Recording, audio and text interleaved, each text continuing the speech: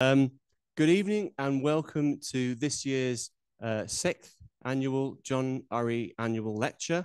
Uh, delighted to have you all with us this evening. Uh, my name is David Tyfield. I'm the Professor of Sustainable Transitions and Political Economy uh, and uh, at the uh, Lancaster Environment Centre, one of the departments here. I'm one of the co-editors of Mobilities Journal and I'm also one of the Associate Directors of CeMoRe and, and I'll be chairing tonight's proceedings. Um, first, though, um, I'd like to invite the uh, Executive Dean for the Faculty of Arts and Social Sciences, Professor uh, uh, Simpson, uh, who is a friend of CeMoRe. He's also an anthropologist in infrastructure, roads and environmental questions, so I'm sure you're going to be very interested in this evening's talk, Ed. Uh, just to say a few words of formal welcome. David, thank you very much. Uh, good evening, everybody. I'm really at, here as the Executive Dean of the Faculty of Arts and Social Sciences to welcome you all to the university. I know many of you are already in the university, so to speak, but for those of you who aren't, uh, I'm here to extend a warm welcome to you and to our speaker, Professor Alice Mah. Welcome. Uh, it's very nice to see you on our campus. Um, as many of you will know, this lecture is to honor one of the university's most distinguished scholars, Professor John Urry. Uh, and as I think John would have liked, the faculty uh, remains a keen advocate for the significance of arts, humanities, and social science in public life, both through research and teaching. I see our subjects as very well placed to tackle the nasty, thorny problems of our age. Um, over the years, I have seen this event uh, as I've watched first from a distance and then more recently from much more close up uh, evolve and become part of the calendar of Lancaster University. Uh, I have followed and I can name the speakers who have spoken in this series without preparing um, for welcoming you this evening. Uh, and I have admired, uh, as I said, from a distance and now much more proximate. So it's a real honor for me to be here to represent the university, to welcome you as guests uh, and as guests online, and our speaker, and of course to remember John as well. Thank you.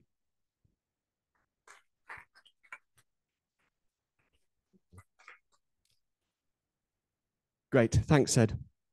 So, as we just heard, um, I'd like to just make a, a, little bit more of an introduction to uh, this evening's events. If I can change the slide, hold on.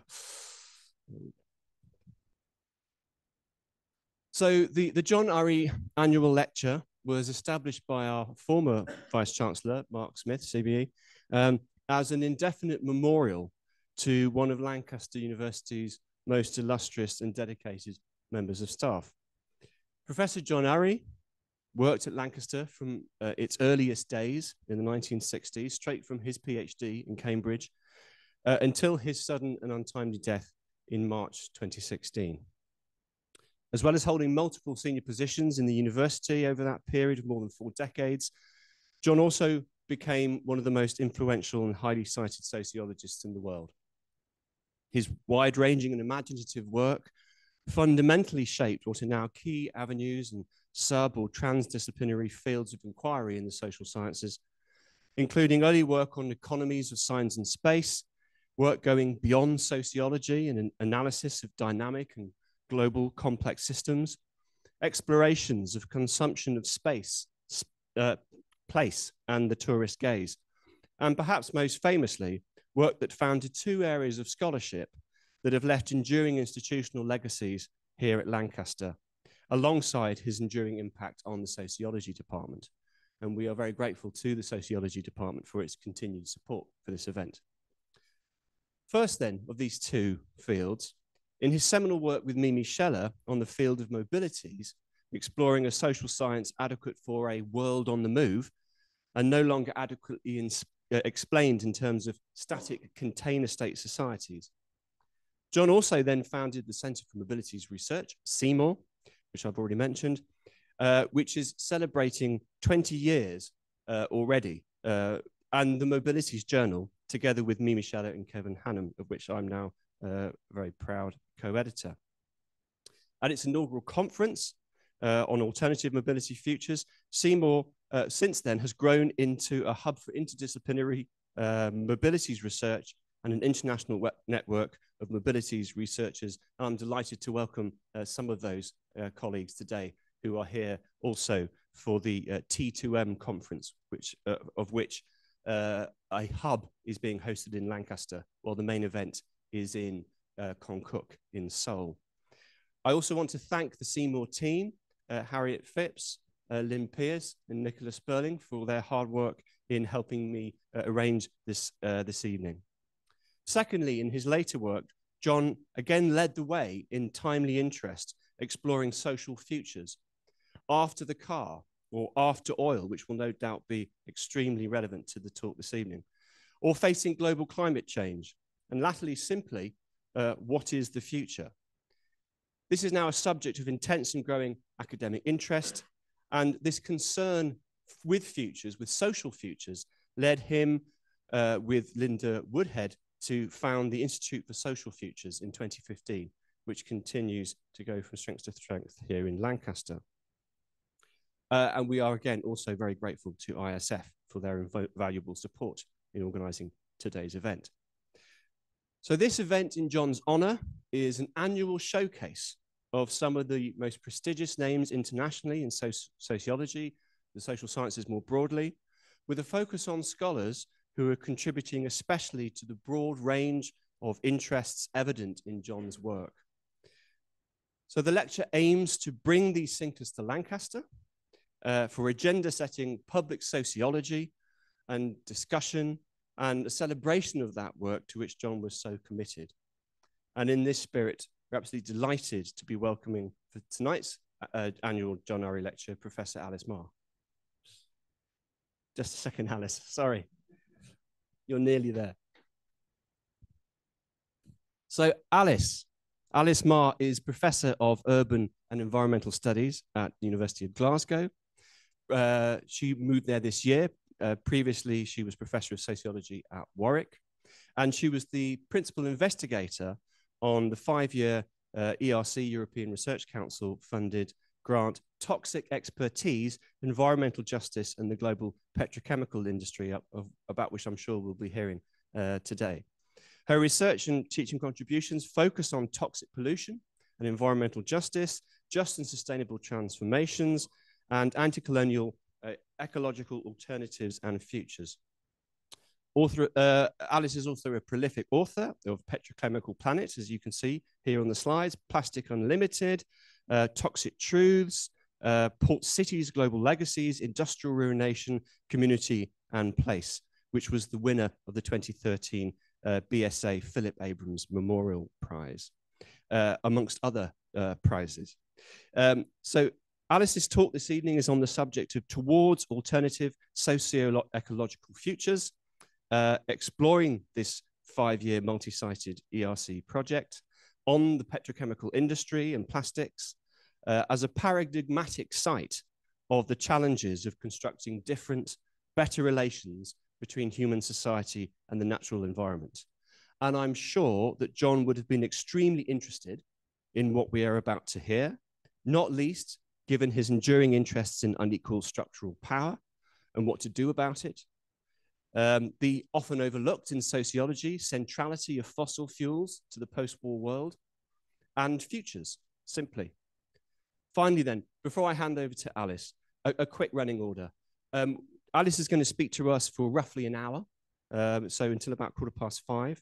We'll then open up to questions, and um, we'll have about uh, 15 uh, minutes for that, 15, 20 minutes, uh, to end around 6.30, or we'll probably push a little bit beyond that but not by very much. Um, so without delay, uh, please join me in giving a, a, very warm and Lancaster welcome to Professor Alice Mah. Alice.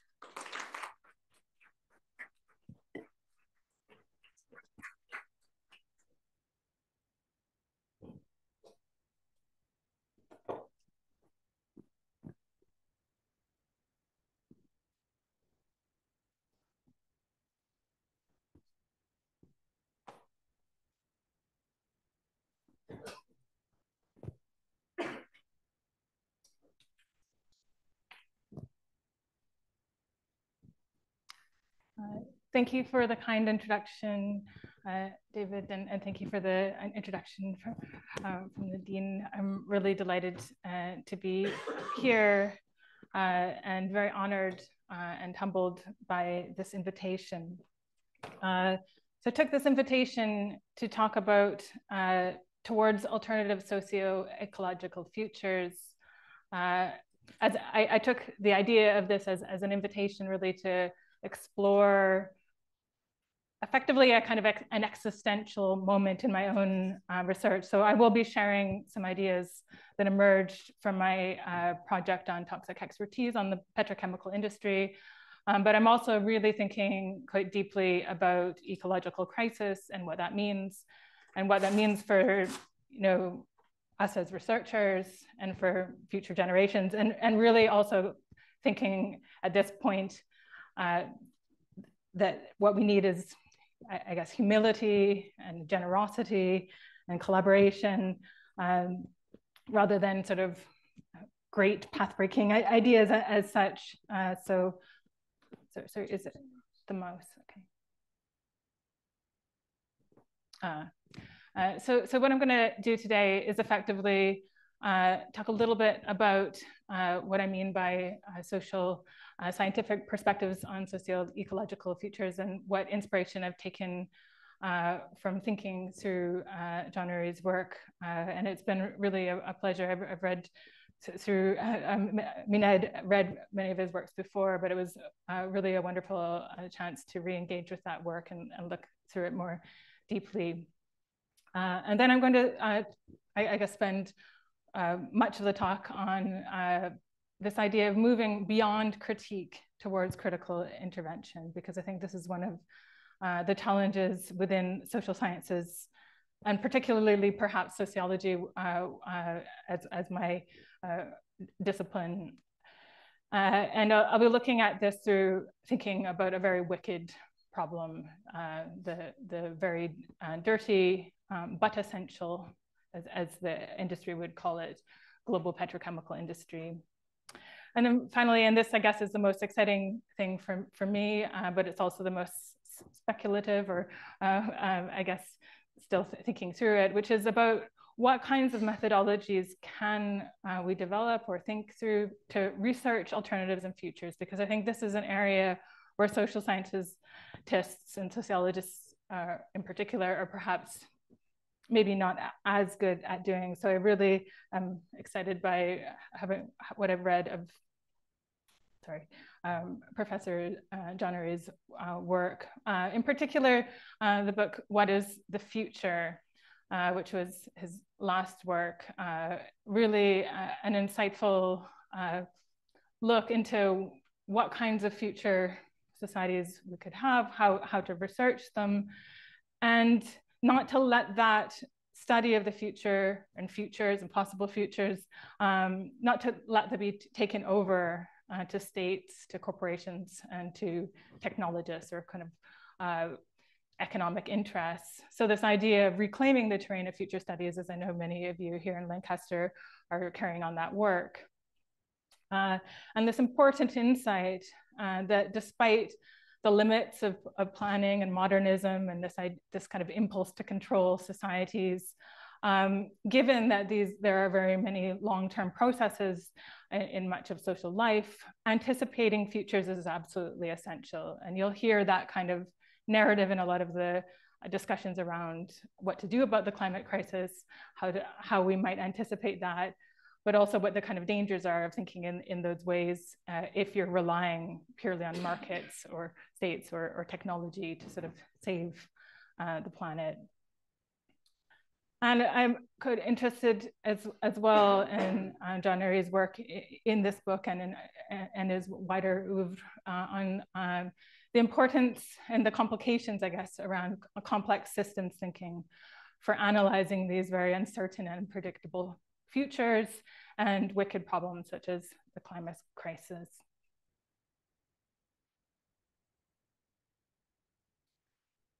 Uh, so very briefly, um, what does critical social science offer uh, to the study of the futures? So I think what is really uh, fantastic about social science and critical social science in particular is, is that role of critique, questioning assumptions about the role of different actors, about their outsized uh, roles of, of, you know, marketized solutions, about the role of states and, and you know, all the inequalities that are uh, embedded within that, the vested interests and the power relations between different social actors, um, that firm attention to power relationships and to how very sticky kind of structural uh, issues of, of inequality are uh, through generations and through cultures and histories. And, you know, drawing attention those deeper issues around injustices, inequalities, and patterns. Mm. So, but I think, I mean, I've, I've been involved in this kind of critique throughout the, you know, this project and throughout a lot of my work uh, as a sociologist. And I think sometimes there's a, possibly a little bit too much focus uh, on uh, critique to the extent that everything becomes problematic. You look under the lid of pretty much any issue, and then you just see the layers of injustice and uh, and suffering uh, and violence behind that. And I'll go, I'll be a little bit more concrete about that as I talk about the research on the petrochemical industry. But in short, I think that so, so sociologists, social scientists can be very good at identifying a lot of the obstacles to change, the path dependencies and, and the ways in which uh, structures and you know, capitalism, racism, uh, class inequalities are embedded and reproduced. Uh, they're also very well versed in, in the sort of more, I guess, speculative thinking about, you know, there are, there are long histories of kind of utopian and dystopian thinking, which uh, um, er, John's work engaged with quite a lot, took a lot of inspiration in thinking through what are the possibilities in the, I guess, in the far off future, or these, uh, or uh, as to whether it would be a catastrophe or whether um, it would be sort of a, a, a, yeah, a utopia and what that might look like. Uh, so thinking about the transformative potential, basically, of, of imagination, of ideas, discourses, uh, for shaping, having a material effect as well as a cultural effect on societies. But, and here's, I guess, uh, where I, I want to make an intervention. I don't know that it's, I, am being humble here in the sense that I'm not saying that it's as such original, but I think um, that perhaps some of the social scientists are, are not so good at quite practical future oriented thinking.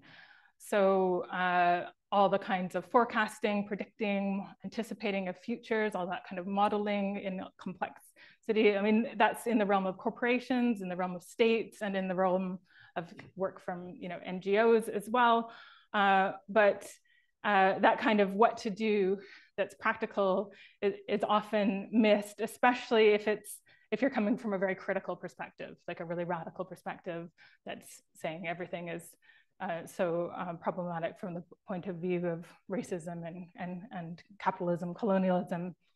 Uh, I mean, it certainly there are exceptions there, but, but, but I think uh, the kind of critical intervention I want to make into thinking about futures is less about thinking about the far off future and more about thinking about the edge of the future that we're moving towards. And also thinking about what are the levers for, for opening up opportunities and pathways towards achieving uh, practical, feasible, yet radical alternatives and futures. Uh, I don't want to be heuristic either, though I don't think it's the, necessarily the job of, of social scientists as such uh, to, to um, you know, to say what anyone not to do. But, but I think by identifying some of the levers of power or the openings, then that can lead uh, to opening up possibilities for conversations that might not have been had in the past. So that's sort of the area that I'm interested in looking uh, to uh, in, in, and it's sort of where my latest book, uh, Petrochemical Planet, and ends is uh, with that kind of question about futures. So I'm now going to talk a little bit about uh, a particular context uh, for, of moving of moving and, uh, through from critique to the idea of what you can do about this wicked problem. The research context here is uh, uh, from a large European Research Council funded project uh, that I um, led on. Uh, it's called Toxic Expertise on the global petrochemical industry and environmental justice. And it involved uh, comparative case study research in, in contexts in the United States, China, and Europe, which are the three largest petrochemical producing countries as well as consuming countries and they have a number of struggles for environmental justice where the petrochemical industry is quite closely located uh, in relation uh, to uh, disadvantaged communities, communities of color, working class communities. And this is the subject of a, a new book that's uh, just out on Petrochemical Planet, which by the way is open access in case you're interested in following it up. Uh, so uh, just because this is a, a, public talk and not everybody knows exactly what petrochemicals are, uh, I'll just um, discuss that a little bit. Uh, so petrochemicals are uh, the, the, they're basically in everything around us. This is a, a corporate, um, um, I guess, brochure about what they're in. They're in 95% of manufactured goods. Uh, they're they're you know in this room every, everywhere. Uh, so they're kind of almost like an invisible basis for modern society. 99% of them currently come uh, from fossil fuels, and there are very big challenges around whether, if at all, it's possible to convert the, the source from them. So they're known as one of the top uh, difficult to decarbonize or hard to abate industries. So, so in the energy transition, this is one of the ones that is going to be the, the most difficult to shift. And many say that leaving aside the politics from a technical and from an economic perspective, uh, it's just not possible. Although you will find also uh, those who are excited about innovation science uh, that they, they might think that that's possible. Uh, petrochemicals are also set to become the biggest driver of oil demand during the energy transition. So that's by like mainstream forecasts from the International Energy Agency. Uh, so they say by 2050 that, that will account for the vast majority of the uses of oil, largely because it's very difficult to get it from anything else, to make it from anything else. Uh, although, uh, so the, this is an industry um, um, pamphlet saying it's so essential, but actually 80% of what they make is plastics. So then we might ask how essential is plastics? Of that, 40% uh, of the plastics are in packaging. So you might think about the single waste, uh, single use plastics industry. And they, it accounts for 90% um, of the chemical industry. From a technical perspective, petrochemicals are basically the byproducts of oil and gas and other um, petro, like hydrocarbons that can be made from biofuels as, as, as well, or bio, bio-based, but that's got its whole set of issues as well. And uh, petrochemicals, they're very diverse, but basically it's impossible to make petrochemicals without having some toxic petrochemicals, particularly uh, the benzene is one of the most widely cited, uh, but there's a whole chain known as the aromatic side of petrochemicals, which are, you know, uh, cancer causing, cause neurological damage, and cause health problems across the entire life cycle from the point of manufacture to the point of you know, it being in all this stuff and leaching out to the point of waste disposal where it's being um, burnt. And to, to just, I mean, I, this, this is just to lay the scene.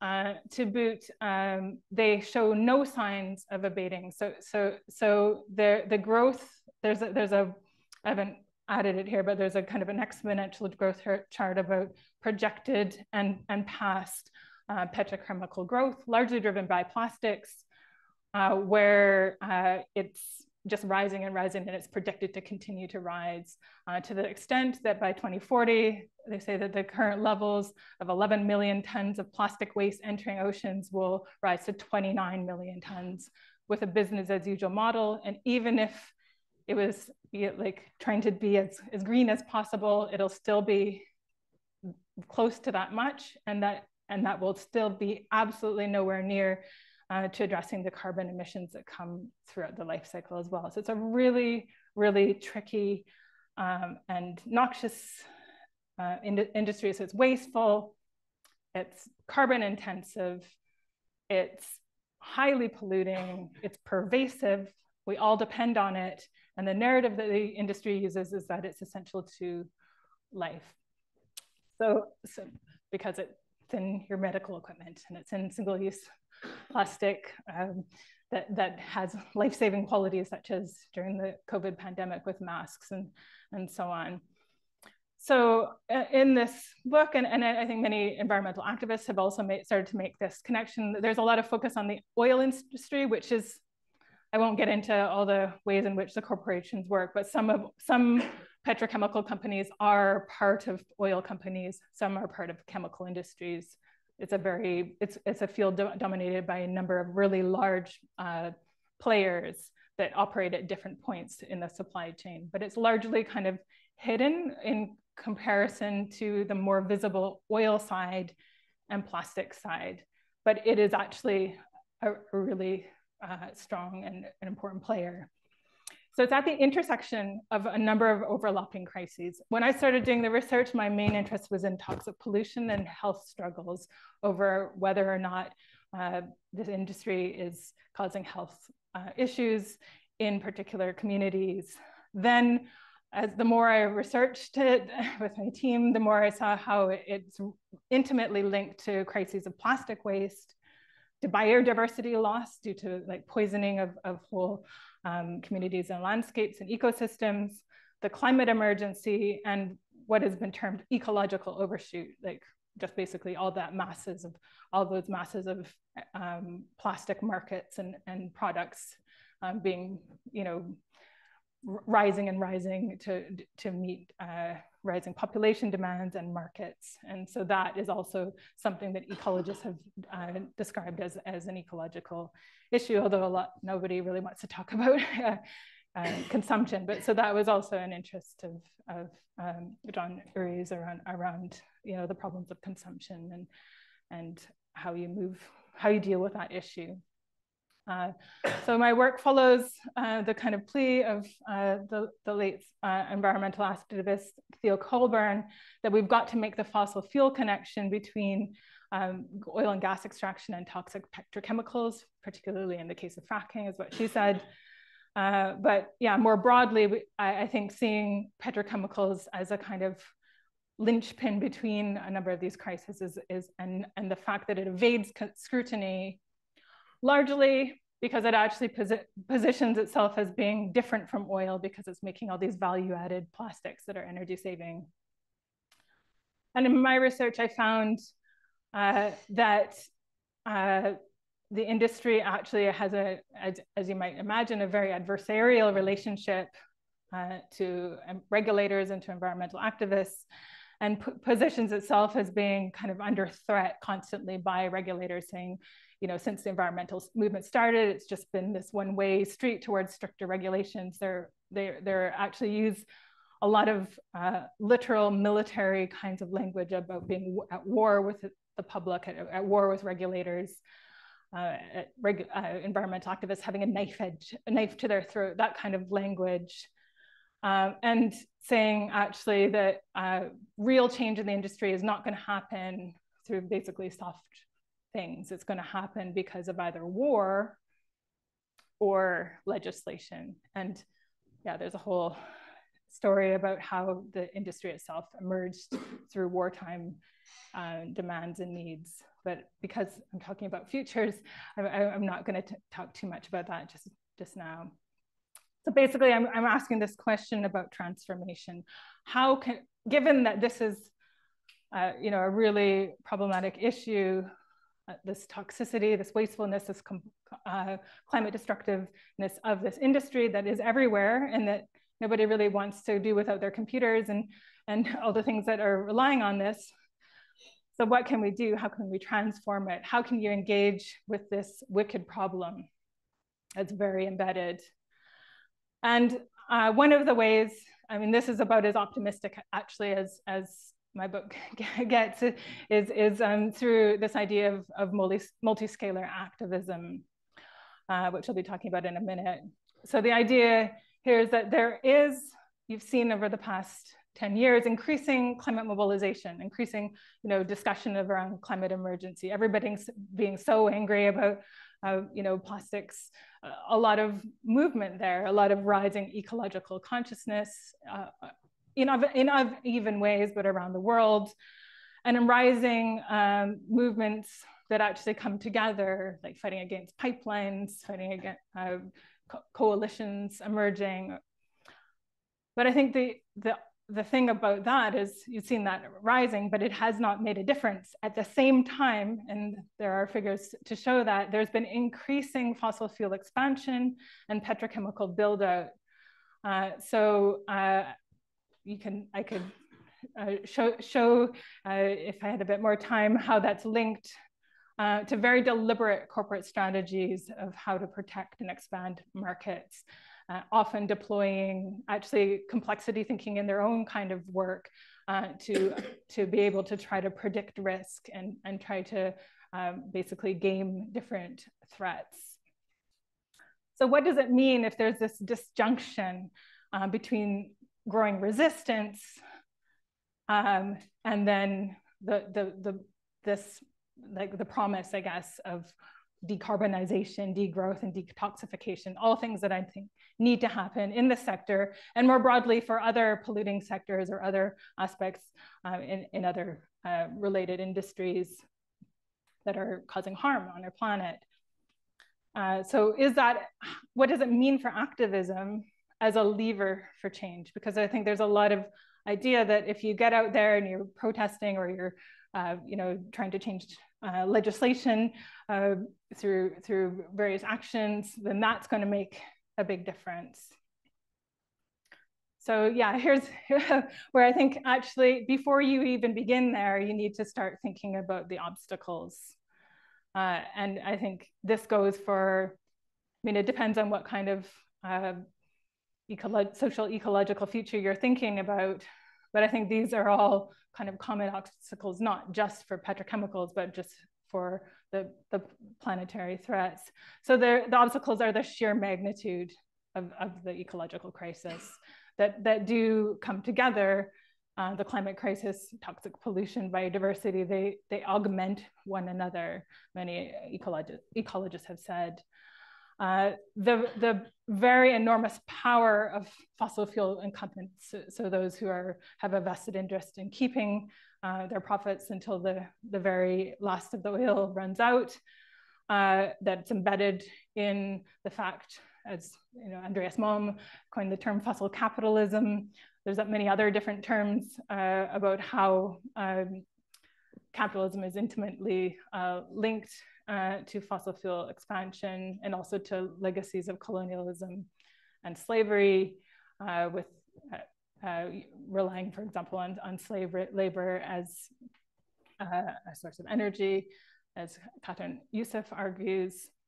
Uh, so there's this, in terms of the path dependencies, uh, if you want to look at it in that way, there is systemic and enduring toxic injustice. And if, even if you look back to the history of environmental justice movements for many centuries, but the, the kind of percolation over, the, over them over the past, since the 80s in the United States, where that term first took off through to the last you know, decade or so of, of really intense climate mobilization, the toxic injustice endures and it actually intensifies in many cases. So there's been a lot of failures, just as there might have been some cases where there's been compensation offered. There's a tremendous sense of petrochemical dependence, which the industry kind of exploits as a narrative, uh, uh, and also the kind of sliding door with states and, and, and finance uh, and so on in terms of who owns uh, the infrastructures, who owns the, the, expertise to be able to operate uh, uh those very highly specialized chemical processing plants. And this really firm aspect to which the, the system is so knotty, so entangled, so embedded, uh, including at the livelihood level, that, it, that there's no way out the predominant uh, solutions that have been offered to this in terms of thinking about what are, you know, how do we address, address this? How do we turn it around? Uh, how do we fix this hard to abate industry? Uh, just like with, you know, climate, the climate crisis and the challenging negotiations over the past few decades, the pro prominent solutions are all market-led and technocratic. Not to say that those don't help in some cases, um, but uh, those are usually like the low-hanging fruit and not the kind of really uh, deep issues. Uh, I, am not going to lecture on, on geop the geopolitics of this, but this, I think some of the optimism I felt around maybe 2021 or so has has really shifted, and each uh, with you know the, the way in which geopolitics plays a, a, a really strong role in, in changing the game effectively, again, in terms of uh, fossil fuel players and uh, conflict uh, on, on many levels. And then you have the sort of precariousness of resistance movements where they might come together at certain points, but they're also very fragmented and get exhausted with, with the kind of constant uphill battles. And I've talked to many, you know, climate activists actually locally, um, where, where I moved to recently in uh, Scotland, and there's a kind of a mood of fatigue uh, uh, around the, the difference between climate activism kind of now and, and the, back a few years ago with the Fridays for Future energies. So I think an interesting point thinking about complex systems um, is that there's different ways of thinking about complex systems. One, uh, with, which is sort of more positive, which is, uh, I think, more prominent in a lot of the literature and in, in some of John, John's work as well, about the idea that if you think about systems as, as involving complexity and uncertainty and, and dynamism and process, then there's an opportunity effectively to change systems for the better uh, because of the kind of levels of contingency. And by taking on board that kind of analysis, then it's less mechanistic, it's less seeking control, uh, and it could be a really uh, you know, fruitful and interesting way of understanding uh, and, and, and changing uh, or advocating for change within systems. The problem with complex systems is, is that they could be take any kind of beast in a way. And I think actually the petrochemical industry is a quintessential problem of a complex system. Uh, not only because it's a, a complex adaptive system which, which can reproduce itself and, and um, absorb shocks, but also because it knows about complexity science and it actually deploys that in order to try to you know, seek control and to you know, model its own system. So I think in some ways, what I've what I've felt researching the petrochemical industry is that they're a step ahead of, of you know, social scientists in that in regard. So although social scientists and social ecological system theorists would think, say, yes, we're, we're using these methods around complexity to understand and, and um, make sense of uh, the, these uh, interlocking systems and we, where we might intervene in them. But the, the, the level of expertise and kind of financial knowledge, technocratic knowledge, knowledge of conflict zones, they, they've got it all mapped out, uh, is really quite staggering. Uh, so I think it does represent uh, for the petrochemical industry uh, a threat in some ways in that uh, everything is contingent and they can't control all the factors and they're always um, uh, being beset by crisis, but they thrive on crisis. Every year, I, I attended a number of petrochemical conferences uh, over the duration of, of, of, this project. Every year it's a new crisis and it's a new existential thing and they just rehearse um, the, the extent of the crisis and what they will do. But then they're kind of, kind of it's kind of, I realized actually it's not an existential thing for, for, for them in, in some ways. It's, it's just um, what they're comfortable in. And so they have been refining over many decades um, methods of navigating risk, uncertainty, and complexity which do require new modes of resistance. So one of their favorite terms coming from the Cold War is this idea of VUCA, volatility, uncertainty, complexity, and ambiguity that's used also in many other industries alongside other kinds of strategy type um, buzzwords around you know, how to model that, how to, how to you know, still make money despite it all. So in terms of the research process here, I, I sort of was at, at first very much struck by how daunting all this was, how complex and, and how impenetrable it seemed, just looking at all these different molecules and so on. Uh, but I started to think about, you know, these sticky notes represent uh, my the understanding of what's toxic about them and where they link to other uh, kinds of issues, kind of reading against the grain of what the industry was saying, which which ones were the most um, pernicious, where where they had um, you know more robust le legislation. So I think alongside this, I'm, I'm going to move into, that was a kind of more depressing bit, uh, but I'm going to move into some emerging new forms of resistance. And they're not totally new. Of course, uh, many uh, activists have been, you know, combining forces for many years. Uh, that's part of the nature of environmental justice. But I think in the face of such high levels of uh, awareness around ecological crisis uh, and uh, yeah, also mediated through um, various forms of communication as well. There are uh, there is a sense in which there have been new forms of resistance that are starting to coalesce and to fight back against uh, the harmful expansion of this very heterogeneous oil, petrochemical, and plastics complex. So uh, one, one of the um, inspirations for thinking about this was uh, the scholar uh, Stuart Hall, who talked about this idea of articulation, processes of articulation and struggles. He was drawing on the work of Antonio Gramsci as his ideas of that there are moments of arbitrary closure or points of articulation within longer term political and cultural struggles in which different elements temporarily unite.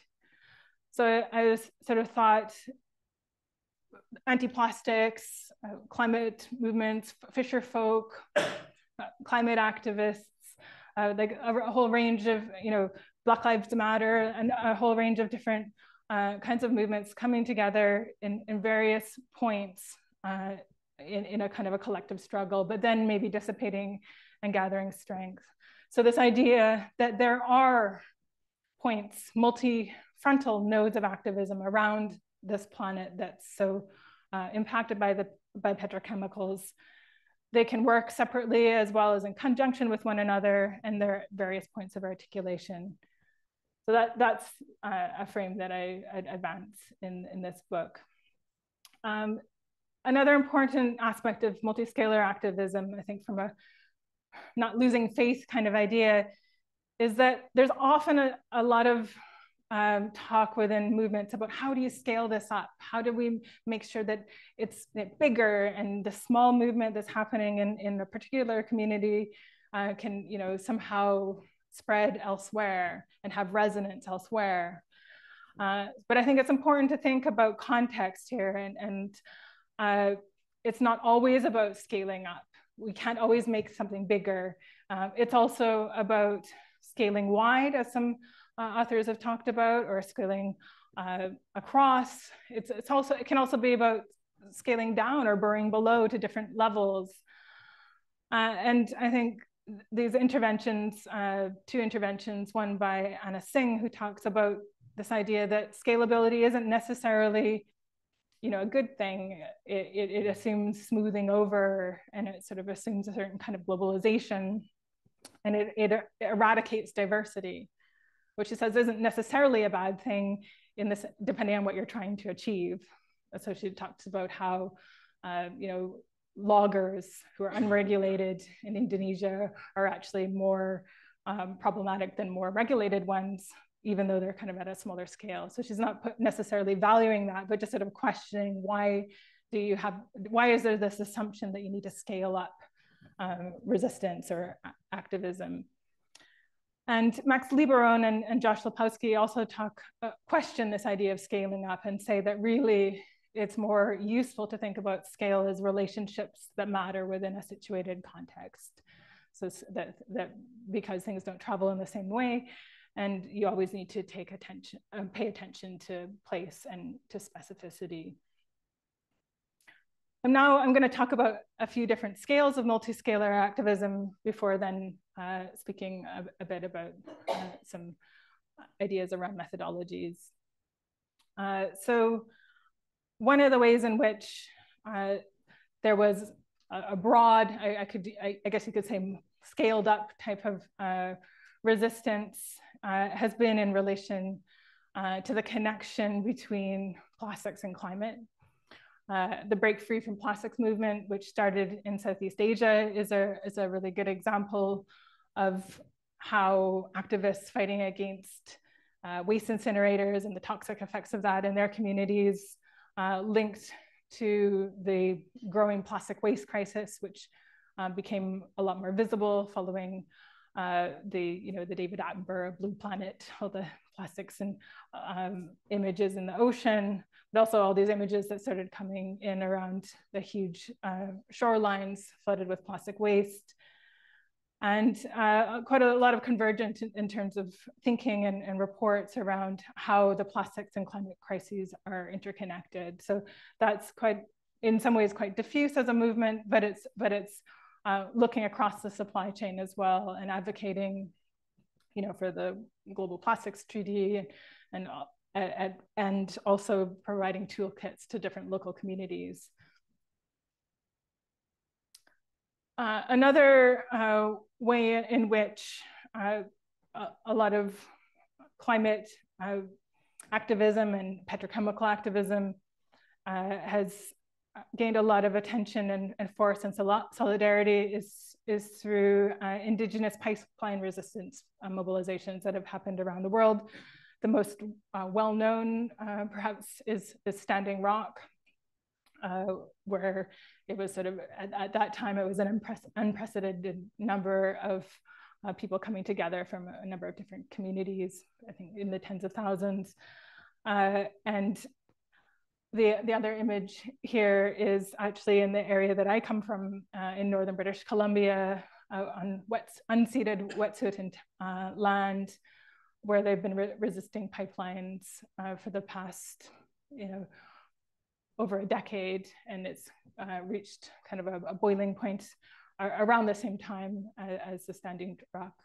Uh, and yeah, the, the idea uh, in many of these indigenous pipelines resistance uh, mobilizations, as uh, McCreary and Turner say, is, is that actually in, in, in some of these uh, resistance movements, the uh, the main indigenous leaders are articulating the politics of territorial defense within a multi-scalar conception of responsibility. So they're saying that it's not just about their own territory or their own people, it's about the land and it's about the relations between them and it's about struggles in other communities and working together. Uh, and so that's quite a nice idea that it's, it's coming from uh, a, yeah, position of connection and solidarity. So just a few uh, short vignettes from some of my uh, fieldwork with, with my team, uh, looking at some of elements of multiscalar activism. One was in uh, the area known as Cancer Alley in uh, between New Orleans and Baton Rouge, which has the highest concentration of petrochemical facilities in uh, in the Western Hemisphere, uh, 150 uh, petrochemical plants, more or less, uh, around eight oil refineries, and it has and it's been at the forefront of environmental justice movements, built on former slave plantation land, uh, with predominantly rural Black communities who live there, who are descended from slaves in the in the area, uh, and uh, Cancer Alley in this in this area, St. James Parish, has been, uh, you know, they've, they've, got many many petrochemical facilities in their uh, town. They've been resisting for for a long time, uh, and when a proposed pipeline, which was like the the Bayou Bridge pipeline, which was meant to be the end of uh, this the uh, the one that went through Standing Rock, was proposed to go through there, there was a coalition between uh, indigenous activists who were uh, fighting the pipeline on grounds of that were sort of taking inspiration from the Standing Rock protests alongside uh, and working alongside uh, the African American leaders there, are many from different faith groups. Unfortunately, the pipeline was, was built and that uh, movement actually, it got a little bit of media attention, but it dissipated uh, and it didn't get anywhere near the same kind of attention as Standing Rock. So not so many people know about it now. Uh, but I thought it was quite a, a, telling and evocative quote from one of the key Indigenous water protectors at that camp, talking about the uh, reflections on failure, saying um, we have to tell people that it's not just all right to fail, but it is a necessary part of contributing to protecting our planet.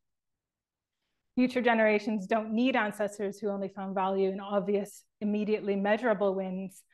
They need us to be willing to fall on our faces over and over until we and they can all win.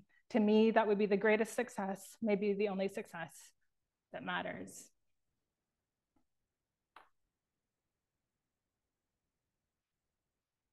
I'm going to return to thinking a little bit about the lessons of failure in a minute.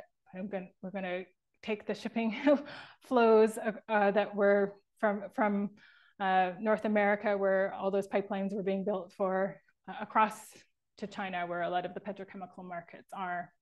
This is an LNG container shipping uh, fracked gas.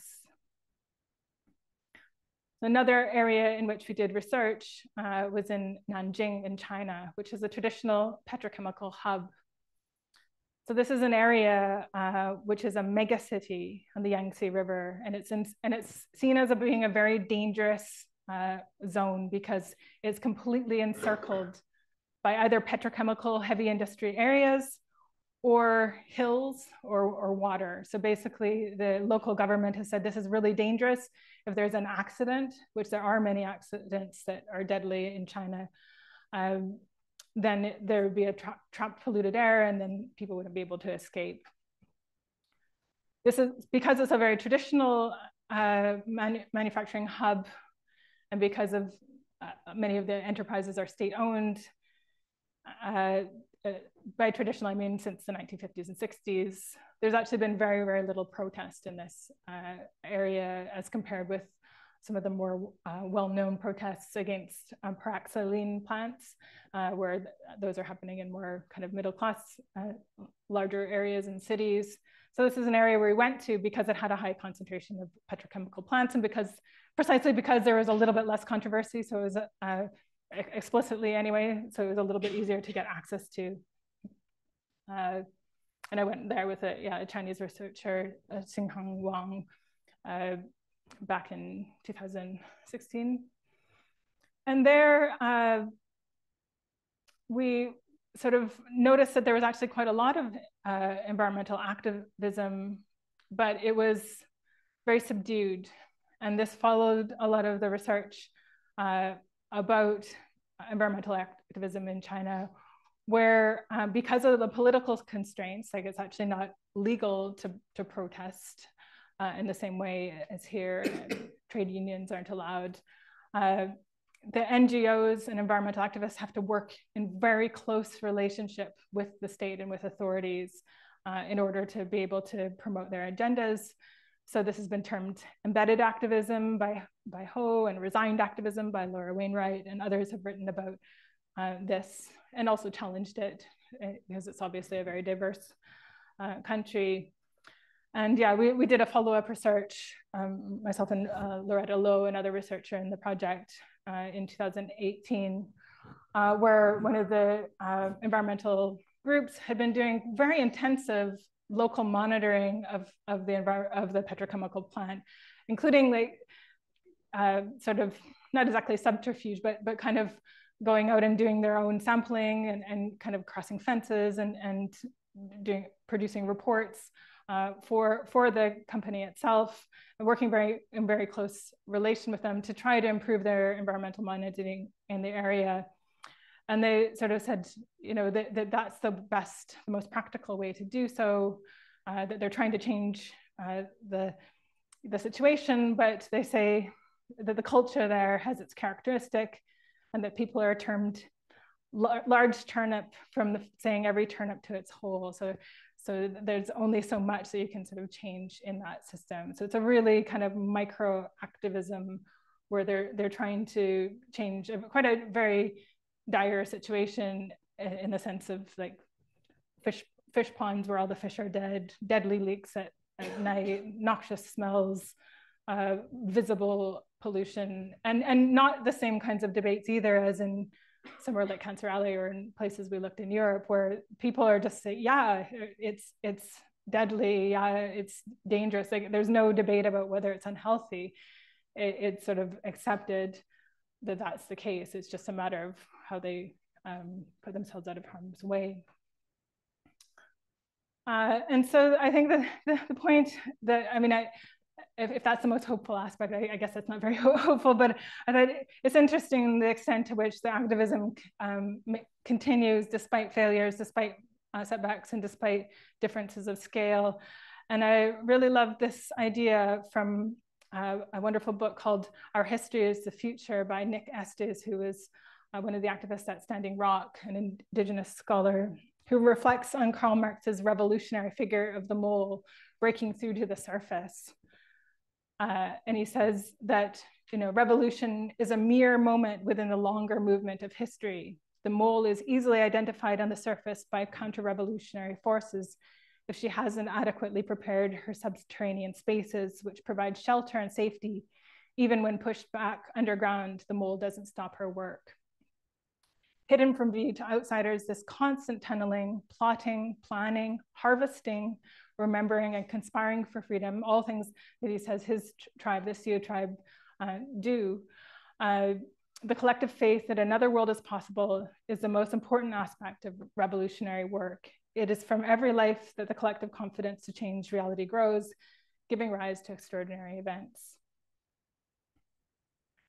So both, both in a way are kind of very different reflections on both the US and the, um, and the Chinese case are sort of uh, reflections on meanings of failure or of having to go underground or having to deal with setbacks, but keep on struggling.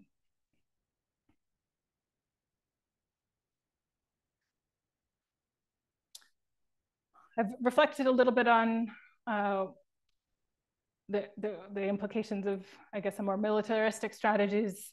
I, I, and you know the, the, that quip by the the scientists who said that either war or legislation are what will actually make the industry change.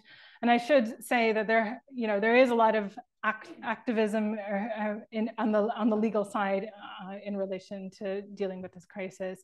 The most prominent is the ongoing negotiations uh, surrounding uh, the landmark uh, mandate for a new global treaty to address problems across the full life cycle of plastics, which uh, was agreed in 2022, and they're entering a new round this year, uh, kind of like a Paris agreement for plastics. So it's a UN uh, forum uh, to, to legislate against the most uh, toxic aspects of, of um, pet, plastics and petrochemicals, uh, including at the production side of the, the petrochemical industry.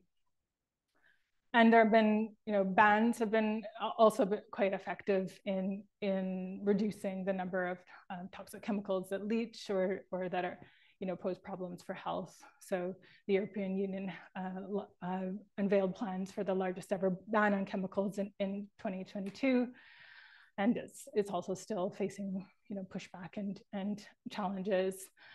Uh, so it's it's effectively been those are some examples, uh, but it's, it's often the case that there's an uphill battle against fossil fuel interests uh, and, and lots of loopholes in a lot of these arrangements. So uh, although the industry will say, oh, it's a one-way street about the regulations coming after them, from the other side, you really need to keep up the pressure uh, to develop stricter binding uh, regulations to keep industry from uh, um, doing whatever it feels like, which it has shown that it will do. Uh, so I'm going to uh, conclude this, this, this talk with a final, final set of ideas, which are sort of largely speculative and in the spirit of, of the idea of thinking about futures and, and new ways of thinking through that, um, about researching and anticipating or proposing alternative socio-ecological futures on the basis of what I've learned and where I am at the moment. And I mentioned in the beginning that I'm kind of, it was a slightly, uh, maybe an existential moment or, or something, uh, just to elaborate on that. Uh, yeah, having researched the very closely toxic injustice over the past you know, seven or eight years, now I really am sort of thinking, I, I don't know if I can look at that anymore. I really think that we need to work on healing and need to work on really thinking about not just about damage, but moving beyond a damage centered approach, like the Indigenous scholar Eve Tuck um, talks about. Um, but I also do think, and I can't overcome that sociological inclination to look that it's so important to map out, to recognize, to understand the barriers and obstacles um, and, and what's at stake, because it's not just a case of thinking, oh, it would be lovely to have a degrowth society where nobody, you know, used all the all this, um, you know, car, cars and didn't consume so much. Or, it would be lovely if we lived in communes and had urban gardens and so on. Um, but how do you get there? So that's the question that I'm quite interested in. So what, one of the things that I think is really interesting as an agenda is about anticipating and designing just transitions. Uh, so the, the, just transition is, you know, a very big policy uh, mainstream word now, emerged in the trade union movement. This idea that we need to, you know, transition away from fossil fuel intensive kinds of jobs, dirty jobs, towards more green jobs and um, better livelihoods, uh, and to protect those workers and communities who lose those livelihoods. But it needs to be proactive, I think, rather than reactive, not after the um, jobs have been lost. And we need to ask just for whom, because a lot of those debates also don't consider if you're going to build the green jobs, the wind turbines, and, and so on, where are the supply chains coming from and, and what are the knock-on effects of that? And they need to be, you know, also thinking about not just next generation, but the generation after and many future uh, generations bring on board more uh, deep time thinking. Relatedly, I think a lot of the just transitions literature, uh, while it's very focused on ensuring everybody that it's just for everybody, it doesn't really think, spell out an idea of, of, of that vision. And I think degrowth and post-growth are um, doing that work around thinking about what kinds of societies uh, would make sense in the future uh, or, or now. Uh, so thinking about uh, work that's happening within planning actually around like how do we plan instead of thinking of pro-development planning, thinking about um, building degrowth and post-growth into our urban environments. So just a few, I, I think I can't I can't help the the sort of social so the, the critique angle of, of, of, sociology. So you can see flaws in a lot of these ideas as well. And I think it's important to be aware of those. Think within degrowth, uh, I'm very attracted to this, especially from the perspective of petrochemicals, because it challenges unsustainable growth models. And this is really crucial. Um, but if you look at the vast majority of degrowth scholarship, apart from, I guess, quite recently thinking about uh, fossil fuel transitions a little bit more, a lot of the examples are focusing explicitly on um, basically peripheries of capitalism, less on questions of transition.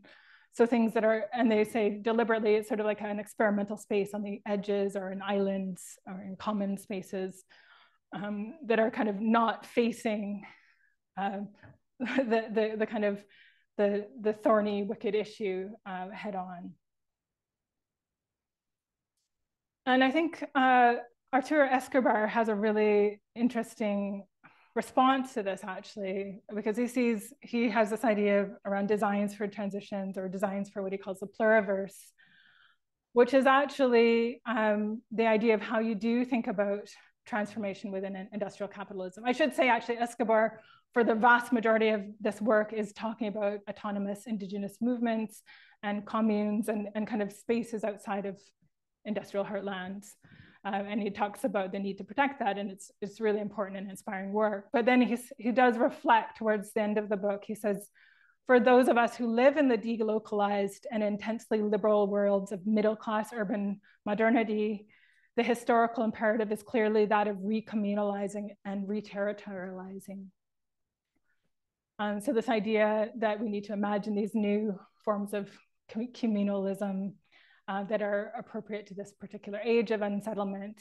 And so they, he says, for those of us without an ancestral mandate to help our words, worlds persevere. So for those of us who are not indigenous and lived on land, uh, but have moved or migrated or, uh, you know, moved, uh, been affected by modernity, the question becomes, how do we create and recommunalize our worlds? So I, I find that's a really inspiring uh, intervention about thinking about next steps forward. The, the idea that I would love to work on going forward because people ask me a lot about, about what, what do you do now? They've just finished this book apart from recovering from uh, the, you know, uh, sort of the difficulty of looking at actually. Um, I, am actually really taken by the idea of complexity analysis in that more positive sense. But I think what needs to happen is maybe not as actually to catch up with the petrochemical industry who's got, who's got the, some elements of complexity analysis nailed, but it's actually to do it really differently. Not to say that people aren't already doing that, but to think about different ideas of how you might plan and design futures if that's what's necessary, if it's necessary to anticipate futures, how to think about scenarios without having the kind of icky aspect of it being really co-opted by businesses, how do you embed planetary deep time thinking? So thinking about not just like next decade, but hundreds of years from now and, hundred, and how that relates to hundreds of years in the past. That's definitely something that social scientists aren't typically practically looking at, although they might, there's obviously theories around it. And so I had some initial ideas, which I would be interested to see if there's any resonance with what your thoughts are doing this kind of work. I'm thinking about maybe you could do oral histories with people from different older generations who have memories of their older generations or have documents or recordings scattered from before. And not having a bifurcation between you know it's happening in this sort of relational way and in certain kinds of societies like an indigenous society or a society in um, rural areas but actually every society has that history has a history of alternatives. Even within modern cities, there's, you know, there's all kinds of ways of thinking differently, being differently that are embedded. Uh, and some of those ways of oral, doing oral history might be stretching through to thinking about, you know, migrant histories, like thinking, you know, like my grandfather was, you know, was from a rural area, rice producing in, in China. I, I don't have a connection with that, but I visited it recently and I was really intrigued by that connection, but also saw some of the gendered issues of inequality there and, and you wouldn't want to reproduce or romanticize those sorts of changes. So that's one, one thought. And doing, yeah, thinking more uh, robustly about uh, socio-ecological system thinking, the idea of tipping points, uh, and how you might uh, do work together uh, beyond the social sciences with natural sciences uh, to think through what that looks like because there's still a lot of disagreement as to whether we're on a tip, like what, what the nature of the tipping point it is, whether we've already crossed it. I'll get that to, into to that in just a moment. And then what I think would be really interesting, and this is sort of what I've tried to do a little bit in this book, but I only just dipped into it, is this idea of reading against the grain and challenging assumptions of existing models um, within social science um, and thinking about different kinds of ethics. So rather than just taking the reports that are from the IPCC or various scenarios and, and, say, and repeating those statistics or facts or um, you know what was sort of very technically bounded in terms of knowledge, actually thinking, you know, could we do something differently if we rely on our diverse forms of knowledge and methodologies that are actually more maybe about storytelling um, as well as about the figures. This is a reference to Beyond the Limits of uh, the Limits to Growth, which was a, one of the early complexity kinds of thinking.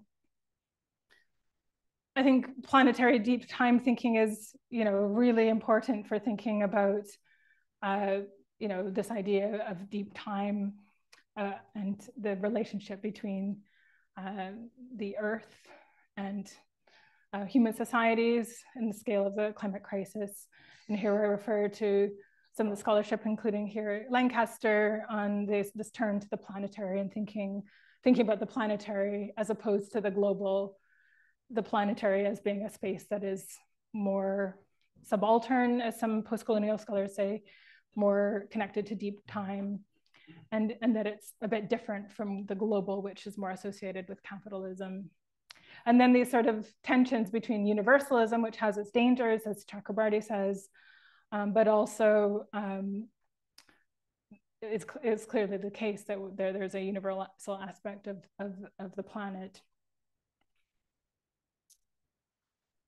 So then just this is the most speculative I get in the book. Um, will there be a moment when of ecological tipping point? Are we going to get a what could happen that would dislodge the petrochemical dependence? Uh, I, I, kind of like this idea of William Connolly, where he thinks envisages this po politics of swarming, uh, which is a complex systems idea emerging organically in response to ecological crisis which resembles a swarm of birds. And he says it's composed of multiple constituencies, regions, levels, and modes of action, each carrying some potential to augment and, and intensify the others with which it becomes associated. But, and this resonates with Urry's idea of um, herding, or this idea that people, that systems uh, and social uh, relations end up imitating or copying within these complex systems and that can magnify problems and lead to system failure. But then you might say, which way is it going to go, because that's the problem with what complex systems and intervention with them. You don't know which way it's going to go. So that, I think that could equally apply to, you know, the multi-scalar activism, or it could apply to, you know, you don't really want to think what the other side of it is. And many have already said that it is too late for to turn it around, especially from Indigenous scholars who say, really, actually, we crossed the tipping point long ago. And I really take to heart Kyle Powys Whyte's idea that actually what he calls the relational tipping point. So the, those relational qualities of consent, trust, accountability, reciprocity, that togetherness that got crossed long ago because of systems of colonialism, capitalism, and industrialization. Uh, so he, he contrasts that with the ecological uh, tipping point and saying, you know, there's there's no going back it, because it precisely because it takes so long to heal. Uh, so to build up those re relations takes a lot of time. Uh, which brings me uh, to my, my last um, point in relation to methodology. I think more and more, uh, I, and this has been actually quite um, challenging for thinking about new research. Like, how do you do new research? I mean, probably many of you share this uh, climate climate friendly research where you don't go anywhere, or, or um, where you don't research the other by going into different communities that aren't your own. Like, then you wouldn't be able to do research. Um, so, but I, th I, think that Max Liboiron's idea in Pollution is Colonialism of anti-colonial ethics is a really interesting provocation and starting point um, which where they argue that colonialism is basically defined as the assumed entitlement to use land as a sink like for pollution uh, and for other forms of violence. Uh, it's, a, it's, it's, an assumption, if you extend that to social science, that you can just go into a community and collect data without the permission of the people whose land it is. And they ask, how will we do science in an anti-colonial way rather than merely with intent? And they offer up this idea based in their indigenous um, connections and, and other scholars around thinking about accountability of relationships, um, of relationality based on obligation for, to others, where that obligation is understood as another way of saying gratitude. And above all, um, they emphasize this idea that I've started with, this idea of humility. So the yeah, uh, trying to end in a, an optimistic note after all, such a challenging and slightly depressing overview. Uh, I, I, I, think the, the, the steps towards um, alternative socio-ecological futures are through forms of interconnection, solidarity, and resonance, um, through small everyday actions in everyday life, as well as larger struggles, through humility of one's own um, position, of one's own, you know, ideas, willing to relearn and, and unlearn and learn again, uh, or learn anew instead of holding on fast to one's own beliefs.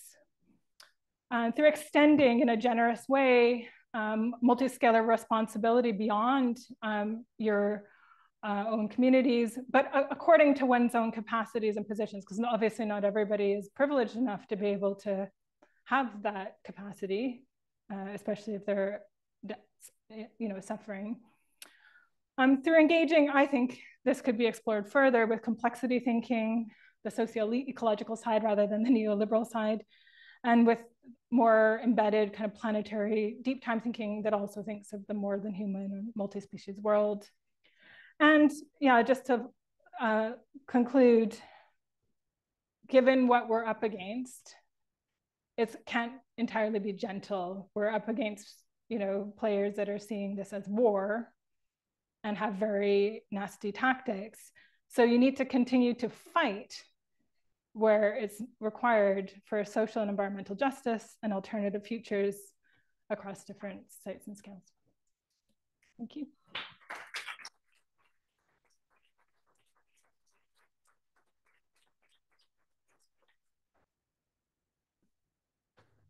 Wow, thank you so much, Alice. That was uh, remarkable. Thank you so much. Um, you stay here, right? Well, perhaps why don't you go in the middle, okay. and um, and I will um, take questions. Um, so I'm sure there's a lot to think of, think through. Think of your questions. Any hands uh, for questions for Alice? Great, thanks. Thank you, Alice. That was fantastic. I, I, really enjoyed you opening up this sort of inflection point in your research career and sort of um, clearly recognizing, you know, all the insights you've got from what you've done, but asking yourself really hard questions about where you go next. It's fantastic. Um, as somebody who's also sort of been at various points a bit immersed in the chemical and petrochemical world, one of the things that's always struck me is the sheer material scale of what we're dealing with. So I was on the ferry at Europoort uh, at Rotterdam looking out over this sea of oil tanks. And as far as you could see in one direction, it was just oil, petrochemicals, chemical. I mean, and you drive through the port and it takes you 30 minutes to get from one end of this to the other so the sh just sheer material sunk investment, the scale of infrastructure and so on, and the the idea of what how do we imagine the transformation of that landscape, those those places? What could their future be? Is it a future of abandonment? What does transition mean in a material sense? So I, I was I suppose it's a question of your reflections on the some of the materiality of this and of the both the sort of how that materiality holds things back. But, but what does it, what do we, what do we mean for the future of those sorts of places or for Cancer Alley as well and that amazing concentration of, of infrastructure? Mm. Should I answer that now? Yeah.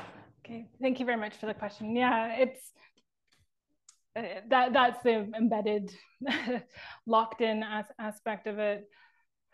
And I, I think that if at some kind of global level, just as there was agreed, at, you know, in the various um, conferences of the parties on, on climate change, that we need to phase out fossil fuels. So a mandate to phase out fossil fuels, to see petrochemicals as actually part of that problem would go a long distance. Currently, it's not really. It's sort of like, mm, can we find a technological fix to sort of still keep it and still keep the same levels of consumption?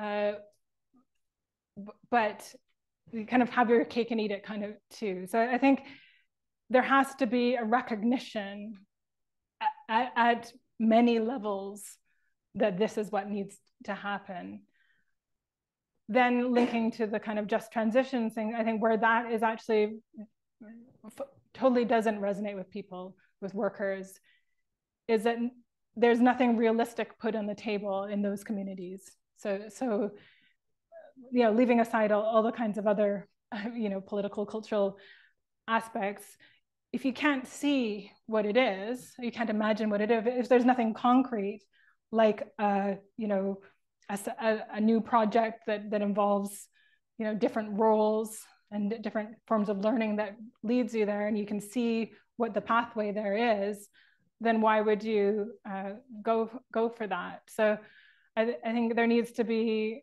you know, that's why I think that that that that's where the work needs to happen is on anticipating, designing, instead of just saying, oh, let's just wait till the catastrophe happens and then you clean it up, because we've seen that you can do, do that.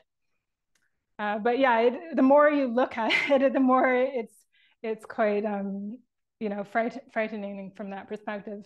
And I had uh, you know a, a, funny, well not funny, but I had an interview with someone who's very very optimistic about about transitions uh, for like a kind of a radio thing uh, about a year ago. And she was just, she, but at the end of it, she said, "Oh yeah, it's a, sort of a di difficult, sticky, wicked thing. Yeah, but you know what? It, it's really reassuring that there's there's thousands of these sites around. Only thousands. That's a number.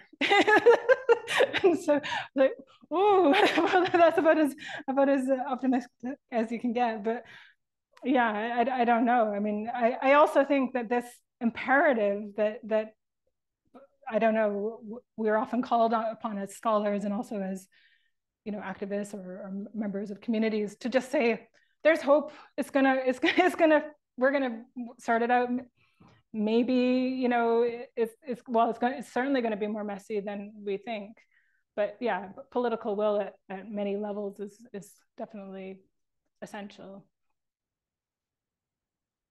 yeah, th thank you very much, Alice. I found that really inspiring and energizing and uh, resonant with, with a lot of the things that we've, we're talking about here at Lancaster. Um, I've got two questions, really. Um, one is, what do you think the role of uh, law is in resistance? So I'm thinking of Client Earth, but I'm also thinking about illegal actions and uh, the role of violence against structural, the, the structures that um, Gordon was talking about.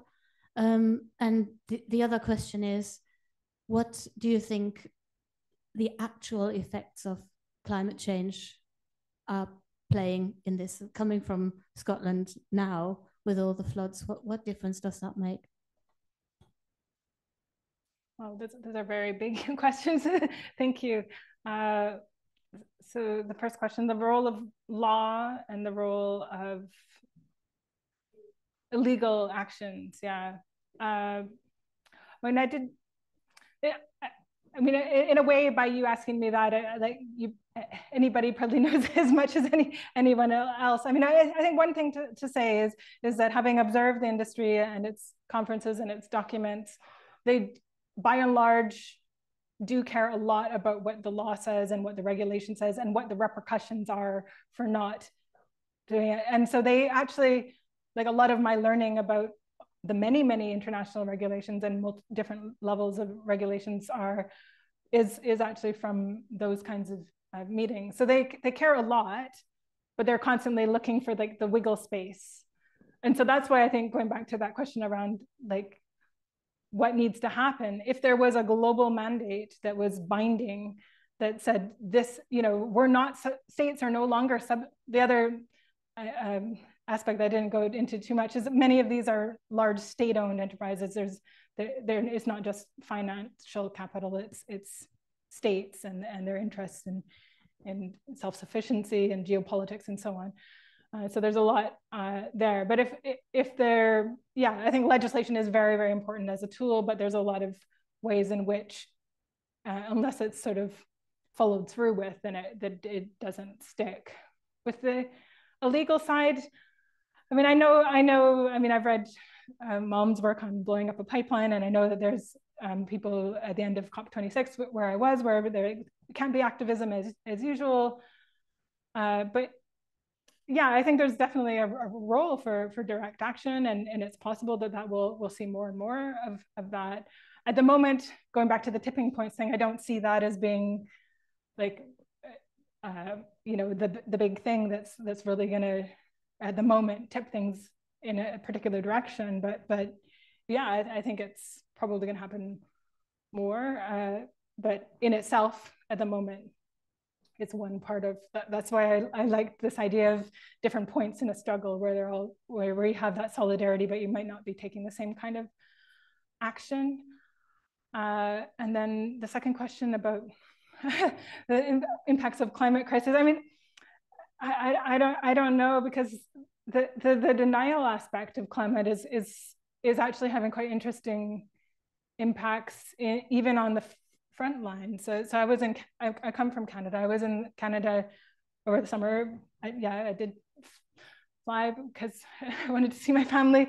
Um, and, and yeah, I live uh, visiting a, you know, a forest town where we actually got stuck for a few days on a wildfire um, frontier. And talking in you know in the local papers there's a lot of people saying oh they're just making all this stuff up. Where you know it has nothing to do with climate. It's because the fire people are you know corrupt and the government. So so yeah I, I don't know that that on the ground lived experience of uh, climate um, you know effects is necessarily going to tip it, it because it, it causes you know fear plays on anxieties it, it people reach to whatever they might have in their heads and that might not be you know the, the green movement that's finding the comfort. So yeah, I don't know. I, it, it's a, I think it's an interesting, but probably quite challenging research topic to think about.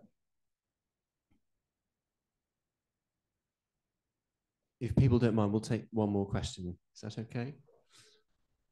No, no, this one. Thank you. Yeah, I found that really interesting. And as someone who spent quite a lot of time in a room with discussions with government where there are corporate lobbyists there, I totally relate to your picture of how that works and the war analogies and, and so on. Um, uh, my my question is about the people who are employed in the petrochemicals industry and not so much sort of on the front line in factories where you know they're very locationally specific jobs and you know people probably take them because it's the only job they can do in the town they live in, but more at the sort of professional level, like you know, like the lobbyists, the strategists, the you know, the accountants, those sorts of people. What what stories do they tell themselves about the work they're doing? Because you know, I have no doubt that there will be some very cynical people who are just in it for the money, but most people want to be able to tell a story of being on the right side of history. so, you know, what what what do you think these people are thinking, and eh, do you think that that is a potential route for? Is there a potential route for engagement and mobilization of people from within the industry, or is that hopelessly optimistic? Uh, thank you. That's a really good question. So, so I did, I did, I didn't touch on this, but I did do a number of interviews with uh, various petrochemical um, executives and, and, professional workers as well. And I mean, there, many do show what you would call cognitive dissonance, where they say, "Yeah, I feel a bit bad, but at the end of the day, I have to pay my wages, and we don't. We're not as bad as the oil side of things. We're helping, trying to improve things. So there's that side of it. Uh, the most uh, I, I, think disheartening one though wasn't wasn't so much those who are just don't care or those who kind of talk a little bit about conflicted ethics. It's ones who actually flip the justification around where they they reposition themselves as being basically the saviors. So they'll say, well, the chemical industry, we're, we're holding our hands up. We've, we've made some mistakes, but we're actually going to produce the solutions to fix this we're way not at all as bad as oil because we're making value added things that save people's lives. They genuinely believe that. Not only that, they're doing uh, philanthropic work where they're um, educating people in Southeast Asia about their plastic waste problems. going and doing beach, beach, clean, beach cleanups. Uh, they're putting lots of money into that, and those are so that's the, they're in a lot of the, the their the mentality is a kind of self justification where they might give a little bit of ground. Okay, it's not perfect. It hasn't been perfect in the past, but they're okay because they're they're they're they're li listening to the hard lessons and they're they're it's all about green chemistry and sustainability and a kind of a niche to, to change things and a, a very strong narrative of the chemical industry is like the quintessential innovator. It will innovate again and it will save uh, the planet and it will sell all the green products, including it being in all the wind turbines and all the solar panels and, and piloting uh, green hydrogen. So, uh, and I don't think that's, in, I think it's just part, part of the, I don't know, the psychological aspect of justifying to yourself what you do, but not being able to look beyond those lies that you tell yourself. So that, yeah, it's a, there's a range. And there's, yeah, there probably are those who are disaffected as well. They're having problems with recruiting younger people, more diverse people. So it could change over time. Yeah. Thank you so much, Alice, um, for those answers. Very, very illuminating and for your wonderful uh, talk. Um, thank you all also for staying uh, beyond the, the original scheduled time. Uh, please join me again in uh, giving our thanks to Alice for a wonderful evening. Thank you.